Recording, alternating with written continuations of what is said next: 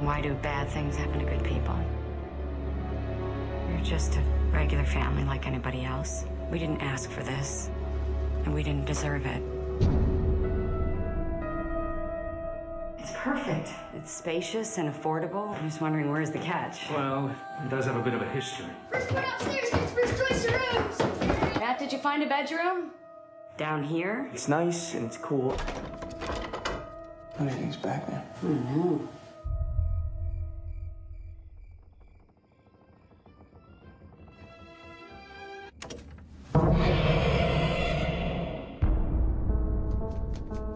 there? Matt?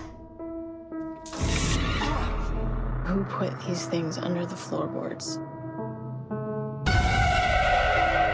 I've seen this kid almost every day since we've been here. You're scaring me. We'll join the club.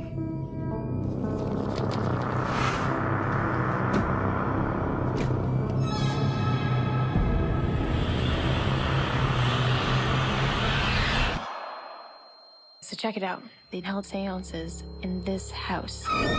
People not only contacted the dead, but made things appear. There's something in this house. Something no longer living and not yet passed over. What happened in the house? Something evil. And it wants your son.